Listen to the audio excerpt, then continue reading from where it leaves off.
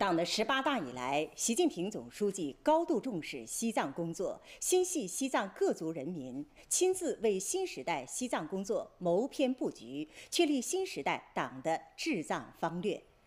习近平总书记强调，要抓好稳定发展、生态强边四件大事，为西藏工作指明了前进方向。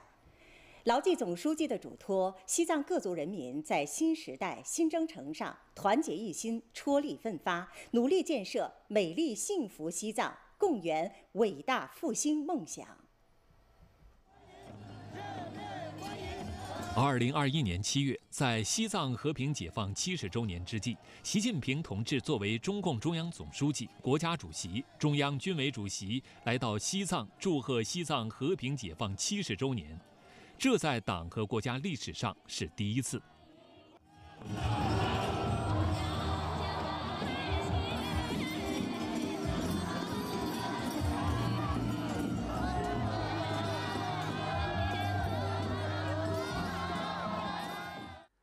总书记一路走来，给各族干部群众送去党中央的关怀，殷殷之情洒向雪域高原。特别想对总书记说，这一年里，我们高原生机勃勃，各族群众相亲相爱，生活非常甜蜜。总书记来到我们雪域高原，给我们带来了关怀和温暖，想起来就像在昨天。有总书记的领航，我们信心满满，干劲满满。生态是西藏的国之大者。总书记在西藏考察期间再次强调“保护优先”的理念，指出保护好西藏生态环境，利在千秋，则披天下。牢记总书记的殷殷嘱托，西藏把生态文明建设摆在更加突出的位置，从注重保护向主动作为转变，着力创建国家生态文明高地。一年来，西藏新增三个国家级生态文明建设示范县区，公布了第一批自治区级重要湿地名录。曾经全国唯一没有树木绿化的地级城市那曲，消除了海拔四千三百米以下的无数村无数户，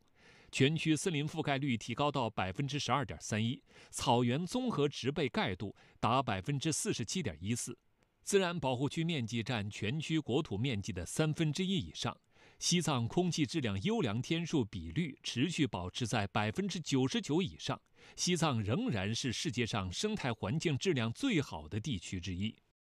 习近平总书记始终牵挂西藏各族人民的福祉。在去年七月的考察中，习近平总书记强调，要办好就业、教育、社保、医疗、养老、托幼、住房等民生实事，一件一件抓落实，让各族群众的获得感、成色更足，幸福感更可持续，安全感更有保障。近日，山南森布日纳曲生态搬迁安置点二期搬迁工作启动，两万六千三百多名群众从纳曲高海拔地区搬迁到这里生活。来自双湖县的多玛乡萨那沃村的旦增正在收拾自己的新家，满怀喜悦地拥抱新生活。我们以前住在海拔五千米的地方，树都种不活。得益于党的好政策，我们现在搬迁到了这里。政府给我们建了新房子，家里也种上了绿植。考虑到以前我们主要以放牧为生，这里还建了现代牧场，日子越来越有奔头。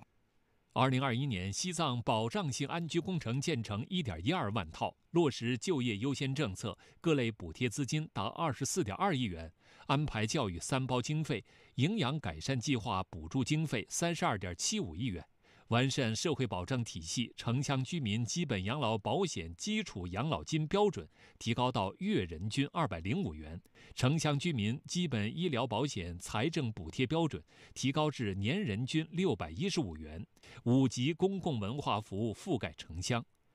在西藏考察时，习近平总书记指出，要加快铁路、公路及其他重大基础设施建设，发展特色产业，走出一条符合西藏实际的高质量发展之路。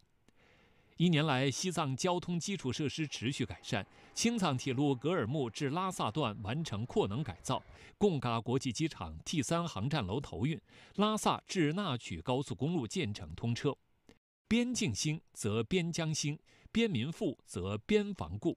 在西藏长达四千多公里的边境线上，截至二零二一年底，六百二十四个边境小康村全部建成，边境地区水电路居等基础设施全面改善。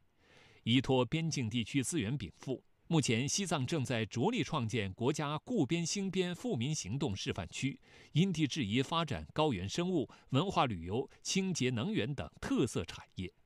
他集结出习近平。习近平总书记惦记着我们边境各族群众，像我们贡巴村，虽然坐落在边境一线，但水电路网的方便程度不比城里差。现在我们的港巴羊有认证，可以卖出好价钱。我开了个林卡，还买了一辆跑运输的大车，想着再学点技术，就是特别有干劲儿。这些都是来自于党的恩情。我要牢记总书记的话，做神圣国土的守护者、幸福家园的建设者。